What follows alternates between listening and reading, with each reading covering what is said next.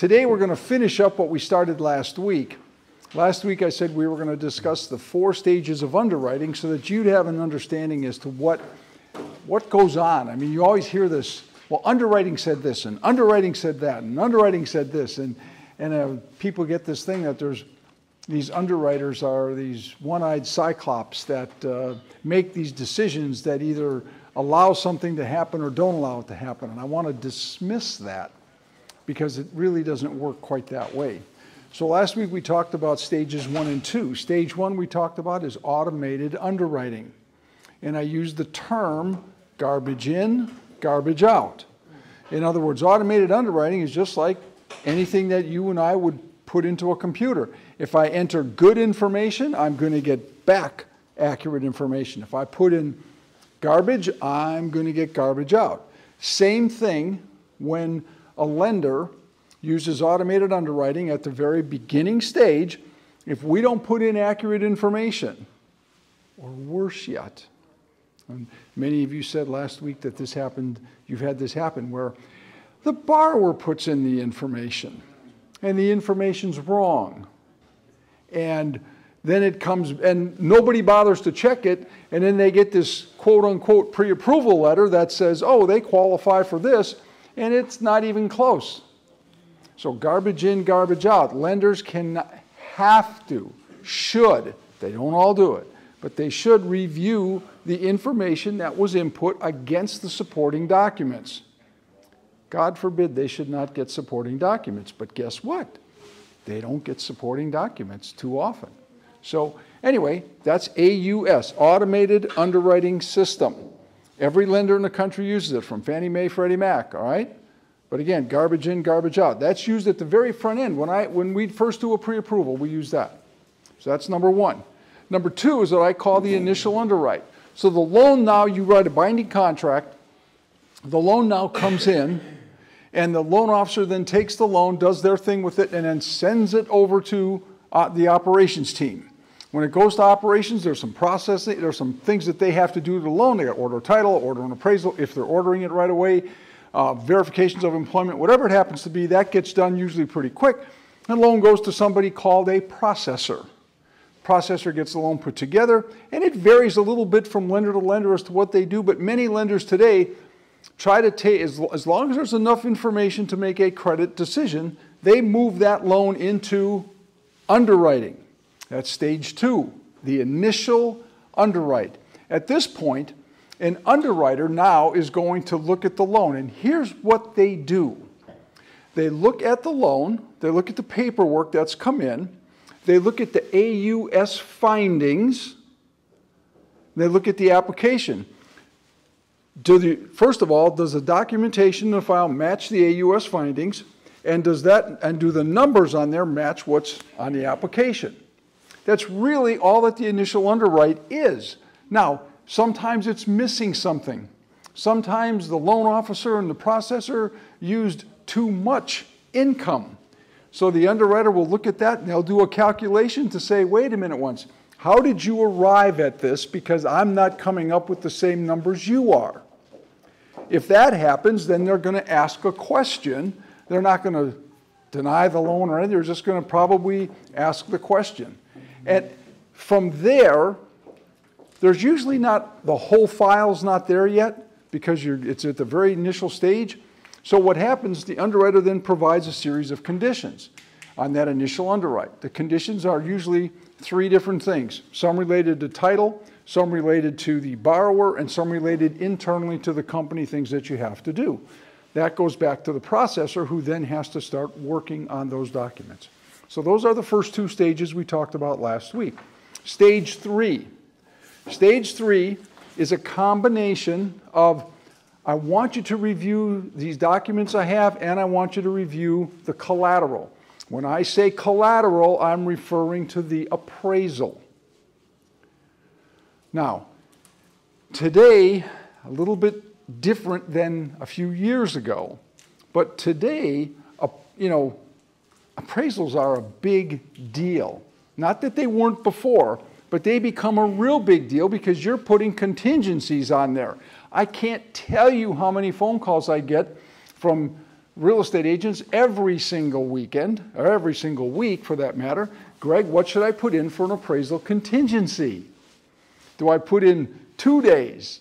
Do I put in five days? Do I put in 14 days? Do I put in 21 days? What is it if it's a conventional loan?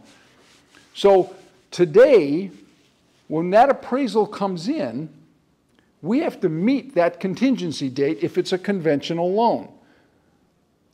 And so today, as soon as that appraisal comes in, we move that appraisal, and I would like to think every lender does this. To meet that contingency date, it goes into underwriting.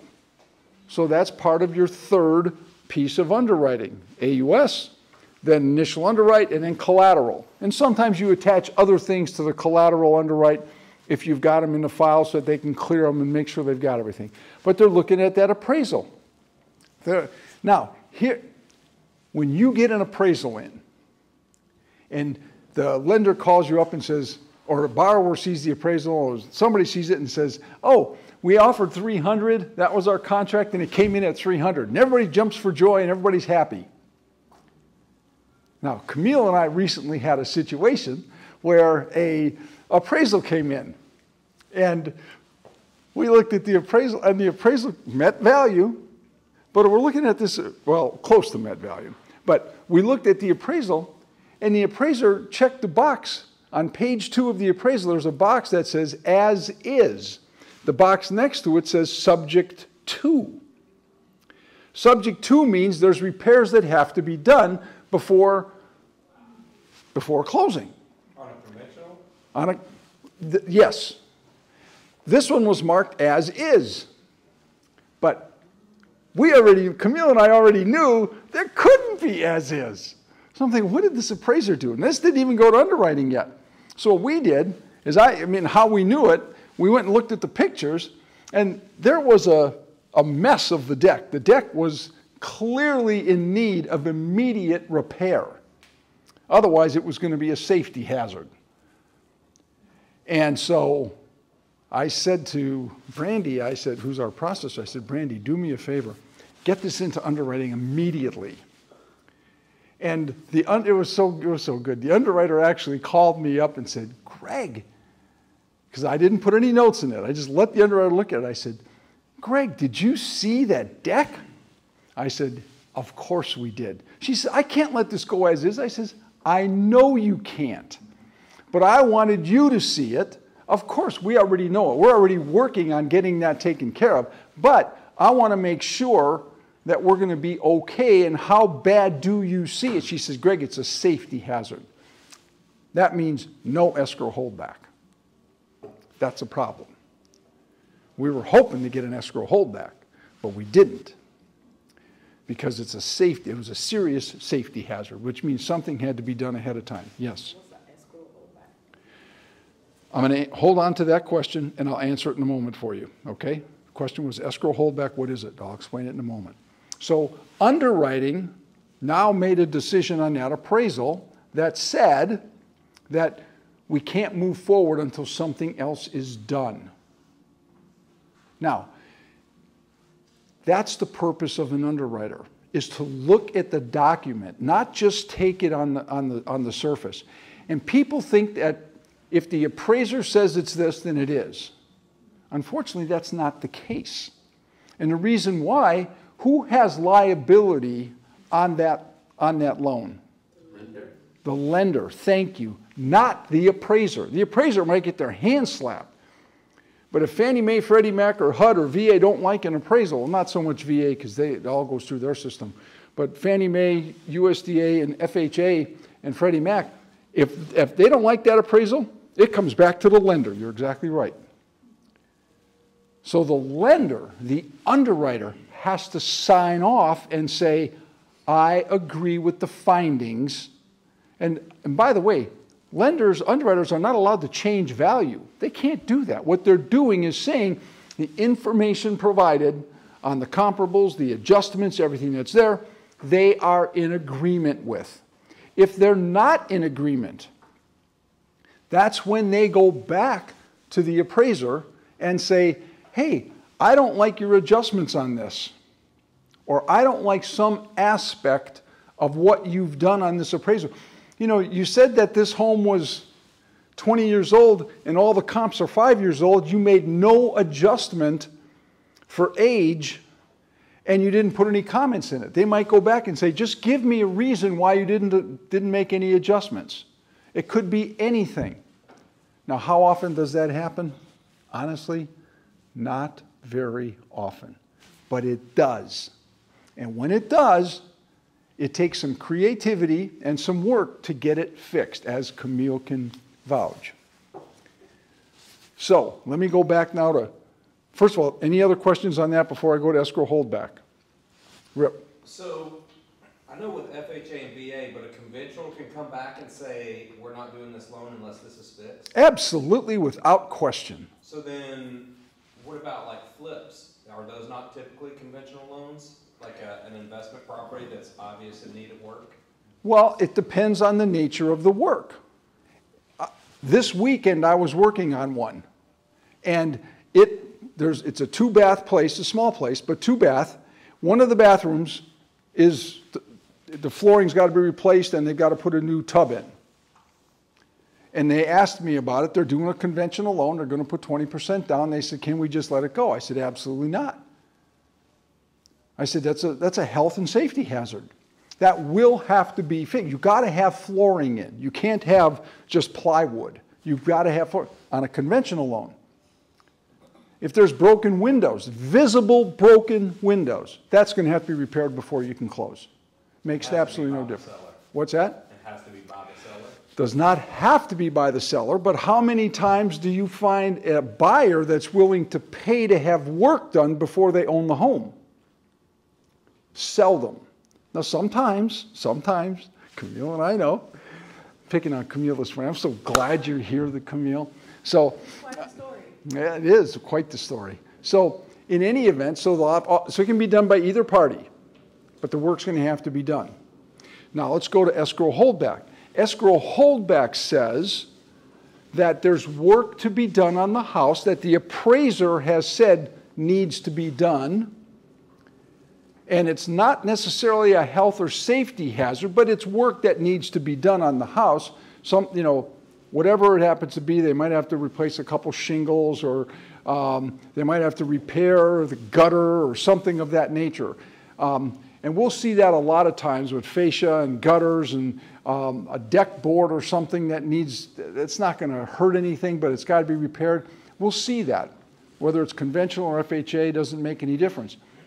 And what a lender has the ability to do if they want is they can say, okay, how much is it going to cost to repair? And the repair costs come in at, let's just make it real simple, $3,000 to get this done. But you don't want to do it, the seller doesn't want to do it before, the buyer doesn't want to pay for it to get done before they close. So what you do is you hold back from the transaction, in this example, $3,000.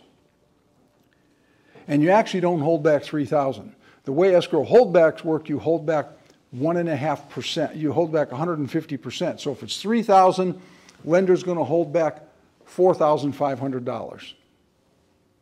They're going to hold back $4,500. We're going to close the loan. The um, contract, or you've got to submit the contractor's bid. Everything's got to be turned in so you know what it's going to cost. Then the work gets done within one, two, three weeks. We call up the appraiser, send the appraiser go out to make sure the work's been done, and then we release the funds. That extra 150, that extra $1,500 in this case goes right back to whoever it's supposed to go to, buyer, seller, whatever the case is. So does that show up as a buyer debit or a seller debit? How- Depends on how, depends on who's paying for it. Okay. Is Depends just on who's paying for it. Repairs, or could you do? What's that? Is it just for repairs, or could you do the same for post occupancy, for example? No, no, no, no, just for repairs. And it has to show up on the appraisal. If the appraiser does not make note of anything, we can't do an escrow holdback. It has to be something the appraiser identifies. Now, I will say, we have actually put notes to our appraisers once in a while, would you please check this out? And then hopefully they check it out and make a note of it, and we know it's a minor issue, but we know it's going to be taken care of after closing. We do a small escrow holdback. Escrow holdbacks do have limits. In our case of our company, the limit is $5,000, which means we're going to hold back 7,500. Anything over that, requires underwriting management decision to go above it. I've actually done one where we held back as much as $18,000. Um, But again, that's, you got to get proof of that. But escrow holdbacks are good tools. Does that answer the question? Okay. Again, appraiser has to say it. So that's your third underwrite, is your collateral. Now, in the case of FHA, um, you know, the collateral underwrite or USDA, the, as you know, there's an amendatory clause, does not have a number of days you got to have the appraisal in. It simply says on the amendatory clause, if that home does not appraise for the contract sales price, the buyer does not have to buy the house. Period. There's no time limit, there's no days on it. Not like a conventional loan where you put in the number of days for your financing contingency. But whether it's FHA or it's, um, or not, or conventional, as far as I'm concerned, I want to get that loan in, I want to get that appraisal in to underwriting so that they can review it because I don't want to have anything pop up at the last minute. Just knowing that somebody's got to put their eyeballs on it, and I don't want to wait till the last day. Okay, makes sense so far? That's your third underwrite. Fourth underwrite. And sometimes you don't even have a fourth one. Sometimes you do the fourth one with number three. But the fourth underwrite is what we call the most famous and magical three words in our business. Anybody know what they are? Clear to close. That's right. We submit the loan for clear to close. And when you send it in for clear to close, if the processor, the loan officer, the appraiser, everybody has done their job properly, and you've identified you've got everything done the way it's supposed to be done, then it goes back to the underwriter. The underwriter checks down their whole list of things that had to be done, and they send us back those magical three words clear to close. Now, every once in a while, a loan will come back. When we submitted it for clear to close, and it comes back without the clear to close.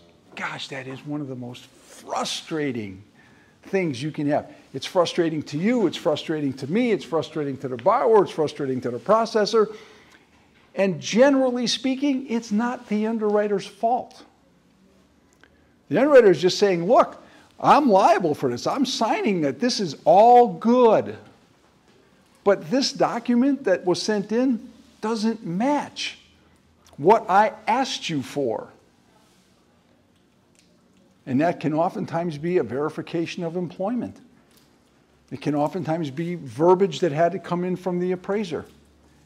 It could be something on the contract that wasn't in yet. Did you ever get a call from a lender, me maybe, that, you know, we're like three or four days before closing and I'm saying, hey, wait a minute once, I've got amendment, uh, I got amendment two here, but I don't have an amendment one. What's amendment one look like? And all of a sudden, you, oh, I've got it here. You send me, you send me amendment one. And I, if I'm smart, I look at amendment one to make sure it says what, is, what needs to say. Because God forbid I send an amendment one to the processor who doesn't look at it because she's busy, sends it in underwriting. Underwriting's never too busy to look at every word in that document, finds something wrong the way it was written, and comes back to us and says, not only did I not give you clear to close before, well, I'm not giving you clear again because blah, blah, blah, blah. And everybody wants to point to the underwriter and says, the underwriter made a mistake. No, underwriter didn't make a mistake. Loan officer did, processor did. Let's make sure we get our stuff done right. So the underwriter's responsibility is actually to protect the lender and protect the borrower. That's what their job is, is to make sure they can, they can make these payments, to make sure that they've got everything that the borrower said they could do, they can do. They're making this kind of money. All of those things fit in place, and that the lender is actually going to be protected. People should not have a default. Does that make sense? So those are the four stages of underwriting. AUS, initial underwrite, collateral, and clear to close. Now, how long does all of that take? Well, I would say if you were talking September of 2020, if you were doing a purchase, you could, at least where I was working at that time, not there today, but at that time, if you were a purchase and you just went through the normal system and you went in for your initial underwrite, it was terrible. Your initial underwrite would be probably about, uh, about seven to 10 days. If you were a refinance, you were easily 45 days just sitting there. It would just go in the queue and it would just sit there. Why? Because back then, we were doing so many loans, it was stupid. I mean, September, you know, June, July, August, September, October, November of 2020 was insanity. And there, were, there was not enough, as we used to say, you've got a hose that is this big, and you're trying to get, you're trying to put this into a funnel that's this big. Well, guess where all the water goes? Outside the funnel. That's what's happening. That's what happened back then. Now, for example, at least in our in our case, um, initial underwrites are taking 24 to 48 hours. This week's probably going to be 48, maybe even 72, because they're having, I was telling Lanier, they're having an awards trip and that I didn't go on, and I was invited. Um, but anyway, so some of the people are over there for that awards trip out in Mexico. So it might be an extra day, but not a big deal. Most of the time today, 24, 48 hours, you get your underwriting, initial underwrite done. Collateral underwrite, much the same. Clear to close, most people put that as a very, very high priority. One of the first things underwriters will do each day. Therefore, usually 24 hours if you get it submitted by like 3.30 or 4 o'clock the day before.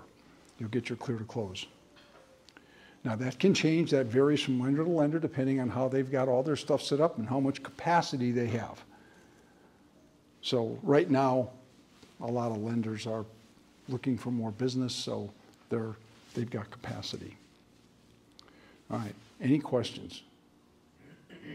Okay, next week, we are going to dive into um, appraisals, and I'm going to talk again, which you've heard me talk about before, but I'm going to talk about the things that go into an appraisal that can screw it up, whether it's conventional, whether it's the um, Fannie Mae Freddie Mac scoring system, which some of you have heard me talk about before.